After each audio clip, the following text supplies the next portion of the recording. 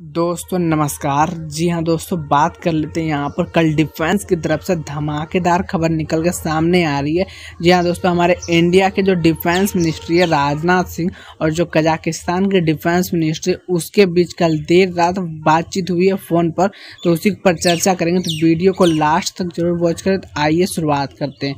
जी हाँ दोस्तों, यहाँ पर बात कर लेते हैं, जिस तरह सोवियत यूनियन से ही अलग होकर कजाकिस्तान और भी बहुत सारे देश बने थे, उसी प्रकार सोवियत यूनियन का ही फाइटर जेट और डिफेंस के इक्विपमेंट अब तक कजाकिस्तान यूज़ करता है और भारत भी कुछ हद तक सोवियत यूनियन का बनाया हुआ फाइटर जेट या फिर डिफेंस के इक्विपमेंट यूज़ करता है। जिस तरह भारत में अभी सोवियत यूनियन का ही बनाया हुआ मिग ट्वेंटी और मिग ट्वेंटी है, जिस तरह मिग ट्वेंटी को तो फ़िलहाल रिटायर कर दिया गया और भी S U thirty M K आई सारे अभी रशियन और सोवियत यूनियन के बनाए गए फाइटर जेट ही है, भारत के पास अवेलेबल। तो कजाकिस्तान चाहता है कि भारत जिस प्रकार अपने देश में अपग्रेडेड कर रहा है, अपने सोवियत यूनियन और रसिया के फाइटर जेट को, हमारे भी फाइटर जेट जो कि उसके पास S U thirty M K I है तो उस फाइटर जेट को और भी मिग कैटेगरी के फाइटर जेट है तो उस फाइटर जेट को भी वो इंडिया के द्वारा ही अपग्रेड करवाना चाहते हैं और डिफेंस के कुछ इक्विपमेंट जिस तरह हेलीकॉप्टर सोवियत यूनियन और रसिया का हेलीकॉप्टर बनाया गया है